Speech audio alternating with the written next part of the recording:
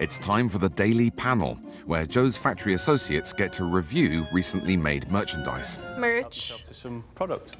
or dog food. This is how seriously they take their quality. Shut Eat the food themselves. up. Kirsty, who oversees I'm packaging, gooped. Okay, I thought this was gonna be like a really dramatic like lead up of like, oh, him and his crew come in and then they're just gonna bring a bunch of dogs. It was gonna be like a really cute, like, oh, the crew is dogs. It's like, no, it's actual people eating dog food. This one's got peas and carrots in. She's the like Gordon Ramsay of the dog food world. She said, "There's some peas and carrots in here." Like, uh, okay, girl. I feel like anything that my animal eats, I should be able to as well. So good, but also, huh? Oh, is this a sound person? Oh, a Foley artist. Okay, I learned all about this when I took cinematography. Oh, I love. Gloves with paper clips are dog paws. Even what you hear. Whoa!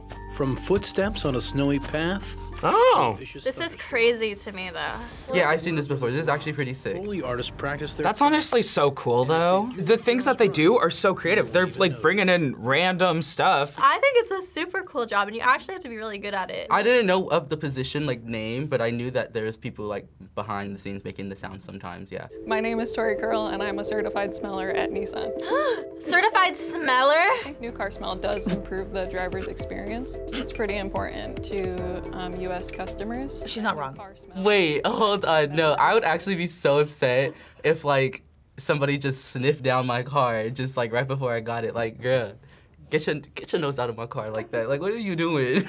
This is Tested bizarre. Five smells. You get to um, be on the odor panel, and That's why, and she's got a clipboard. She's going through checklists. They kind of highlight if Aw. bad odors or good. That makes sense though. Like that new car smell is so significant to so many people who buy cars. I am deeply intrigued. A sniffologist, an odor connoisseur. We all know new car smell, but that's her whole job? Matt Slagle is one of the master model builders behind these At Legoland! replicas Yes! Oh, wow. San Francisco, Bad job for me. and Las Vegas. These are so, they're so cool. Million blocks on Miniland USA, with New York alone using 3 million. And everything there, from a car to the Statue of Liberty, had to be built exactly on a 1 to 20 scale of its real life counterpart. What? And like the way that, it, even down to the bottom, like, Tiny detail right. that's Like you can see insane. Here in each of San Francisco's painted ladies. Wow. That's pretty incredible. How do you like get this job?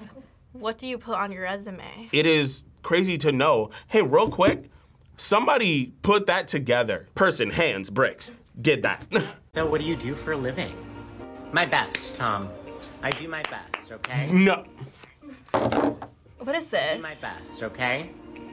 Soap? Oh, food! Oh, is this like a commercials? Oh, okay. That's that's gorgeous. I had to give it some time. Swear to God, I thought that was somebody who just works at the the Eggo warehouse, just snipping waffles. Oh yeah. Burn it. Wow. Why would you grill watermelon?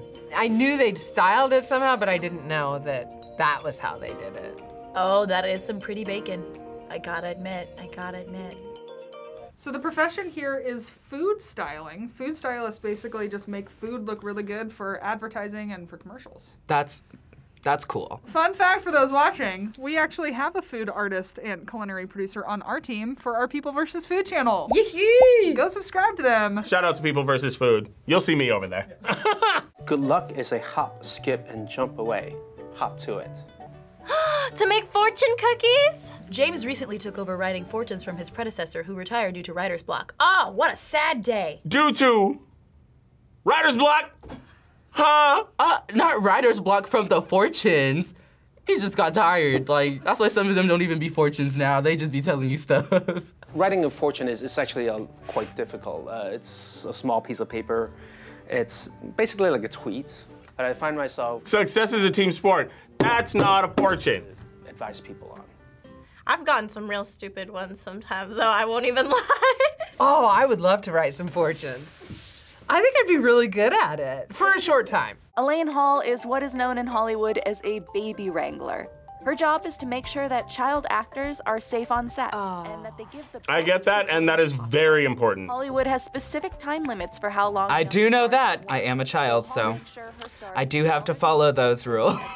I don't know if the job title is like the best name. A baby wrangler. It sounds like she's about to get the lasso. Like, get your ass over here. When working on Akeelah and the Bee, she was able to oh. get a baby to hysterically cry on command simply by fake crying herself.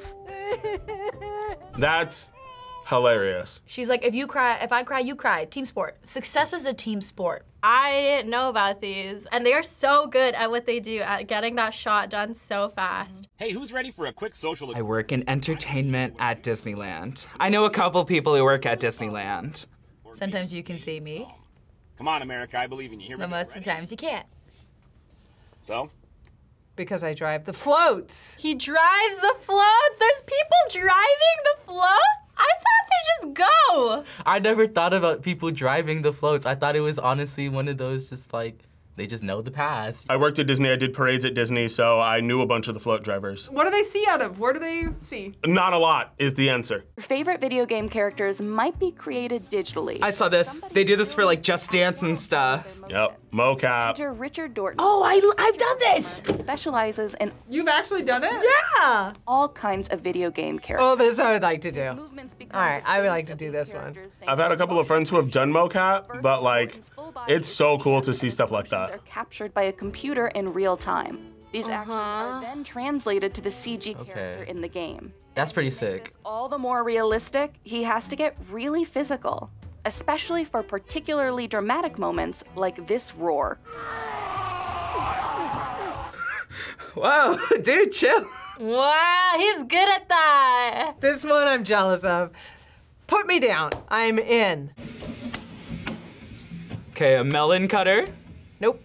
It's a no for me. Listen, shout out to all the fruteros out there selling the fruits on the streets. She's very fast. Don't chop your fingers, girl. Decorative fruit. No? Damn it. I'd only be able to count up to probably eight and a half if I had this job. Are we positive it's not a fruit basket? I'm getting very fruit baskety vibes. Are these the people who like package the boxes of fruit? Wait, they don't just come like that? They're not like cut by like machines. They're hand cut. A lot of people are surprised by the fact that all of that packaged fruit Yeah. at the grocery store is actually cut up by somebody in the back of the grocery store. Yeah, the ones that come in the little cups. Yeah. I assumed. Just like I'm assuming there's someone who like bags up the little like bulk items. I know some grocery stores just have it like the people out and like I've seen them cut the fruit. That's their daily thing. Going back there and chopping them cubes for you at Whole Foods. Would you want any of these jobs, Ulysses?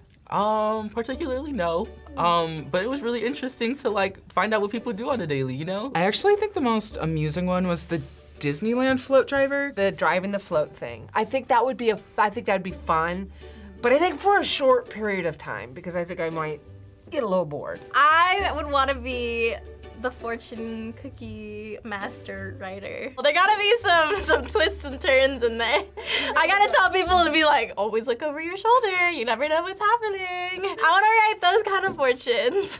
Hey, you did a great job watching this episode. Help us keep our jobs by subscribing to this channel. Would you want any of these jobs? Let us know in the comments. Thanks for watching, guys. Bye. Bye. Me, a Foley artist.